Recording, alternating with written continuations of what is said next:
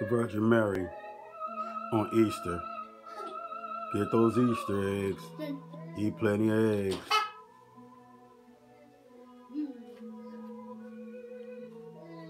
Racing Thoughts by Andre Herring.